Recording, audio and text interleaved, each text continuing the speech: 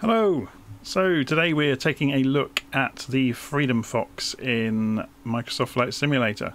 I bought this from Orbx last night, so before we go any further let's just go and have a little look at Orbx Central and have a look at the project.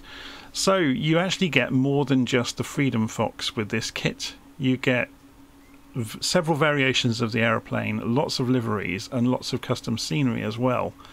So within the kit, you get you can see here the various versions are detailed. You get also a number of mods for the aircraft to improve it, so you can see the features are quite rich. So let's go and jump into the simulator and take a look at it.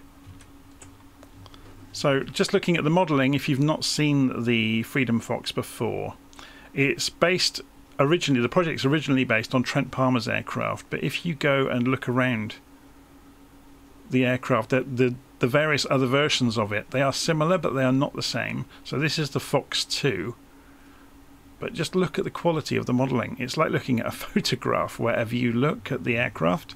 I would say the only thing slightly wrong with it is all of the liveries I've looked at were kind of showroom shiny new, other than scratches on the glass. So, which is nice because it makes you feel like you just bought a brand new aeroplane. But it's uh, yeah, it's it's very cool though. Just look at the quality of the modelling of some of the 3D assets is just stunning. You know, it just the more the closer you look at it, the more real it becomes. Even the tires are just next level.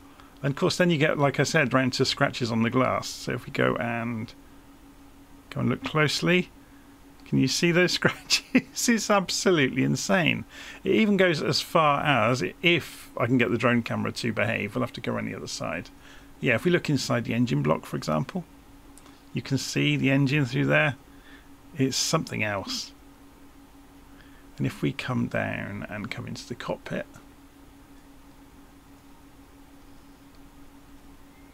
there are even finger marks in the upholstery. It's absolutely crazy.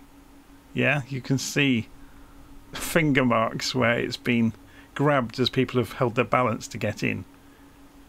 Anyway, enough gazing at the 3D model. Let's go and see how the airplane actually behaves and maybe have a look at this wonderful scenery. This is one of the sceneries they give you, which is a campground.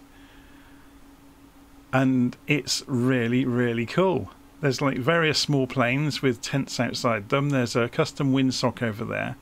If we go up in the air, you can see there are markers on the ground to set out the boundaries of a runway and various boulders that you have to be careful of if you're going to be flying in and out of here. Okay, so let's go and jump inside the aeroplane and leave the drone camera behind for a few minutes and have a look at this. So you can see the modelling inside is almost photographic as well. It's quite amusing, really. The closer you look, the more you kind of shake your head and think, this is just next level. So there's various custom 3D assets. Some of them are mods, you can change the colours, and if you click on things, you can swap them out for people or bags, things like that. And obviously, there's stuff in the back as well. But yeah, the the quality of the modelling is just next level. Okay, so how do we get the thing started? So if we go and turn the master switch on, and then we go and turn on the fuel shut-off valve. There is no mixture control in this aircraft. It's obviously got an automatic carburetor system of some kind. I've not read too much about it yet, but and uh, as I said, this is the Fox 2, which is one of the variants. It's one of the more powerful variants. So we go and turn on the fuel pumps to get the engine started. We turn on the magnetos. We turn on the start power. We turn on lights outside to warn people we're about to start the engine. We crack the throttle open and then we hit the starter button and the and I didn't have the parking brake on. You make sure you have the parking brake on. You saw it, it erupted into life. So we'll go and close the door while we're at it now. We didn't shout clear either, did we? Although that would be a bit odd, me sitting in the study here at home, shouting clear across the house. Um, okay, so we can go and now we have the engine running, we can turn the fuel pumps off, we can turn the start power back off, we can turn the avionics on now. and we'll just wait for the avionics to come up and it's come up there are some mods on the G3000s here to show custom data that's specific to the Freedom Fox which is really nice um, otherwise you can program flights in exactly the way you should be able to in the G3000 so you know all the menu screens are still there um, you can do everything you would expect Let's go and turn some lights on and go flying, shall we? So we'll turn the strobes on, turn the landing lights on. There's wigwag lights as well. So if we go and look outside, I'm not quite sure what the wigwag lights refers to. So let's have a look at the end of those wings. Yeah, I'm not sure. Anyway, we got internal cabin lights as well. Obviously, in in the daytime, they're not going to make a lot of sense But let's come back off that parking brake. Open the throttle gently. Raise the flaps and then drop them back down to the first position. And then go racing off down the field.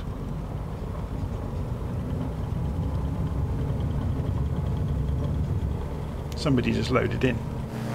Did you see that stutter then? Somebody loaded in in the aeroplane at the same scenery. You probably saw that I was here. This is the, one of the perils of having multiplayer on sometimes when you're recording videos. So you can see, look at the climb performance. We've just climbed probably about 30 degrees out.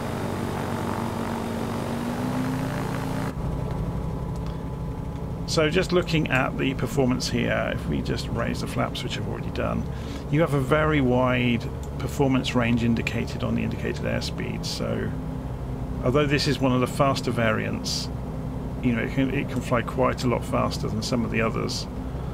Um, it's still quite amusing that you'll notice the marker on the indicated airspeed is, to, is your stall speed with no flaps. If we go and extend the flaps, so we'll just wait. So if we, so we're within flap range. So it's saying we can do about 30 knots without flaps. And there we go, we dropped a wing. So let's go and drop the flaps. And it remarkably, it doesn't actually make a lot of difference to the stall speed, but it does change the handling markedly in terms of what the aeroplane can get away with. So you can see it's a lot more stable for a lot longer. Notice you can catch it if you're quick on the controls you can catch wing drops because the control deflections are so strong. So we're just tootling along, look, at 37 knots, which is stunning, really. Stalling and stalling. So obviously the stock in trade of this aircraft is bush flying. So you can fly low and slow and go exploring and have all sorts of fun with it. So we'll show some examples of that. Luckily, because we have GPS, we can see where the campground is in relation to us. So we'll just circle the campground as we're flying around, so we don't have far to go back.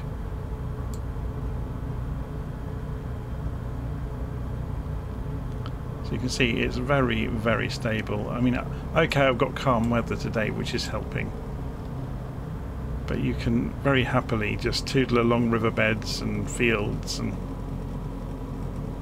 have all sorts of fun, and the, the aeroplane absolutely behaves itself. There's a slight amount of torque roll when you jam the throttle open, but hardly anything to speak of.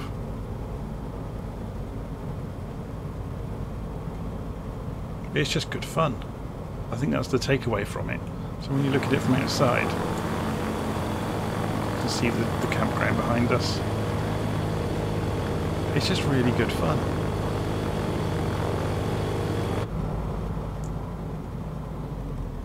Okay, so how do we go for a an approach back into the campground?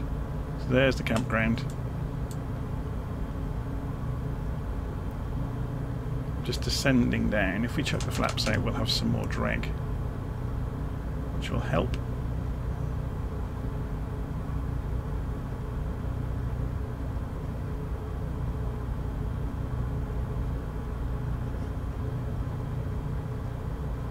So I'm going to side slip to lose speed and height.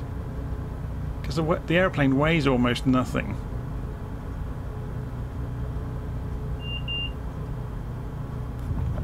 There we go. Back on the field. Help if we looked where we were going, of course. Let's go and find our tent, which was over here somewhere. Yeah, there's our tent.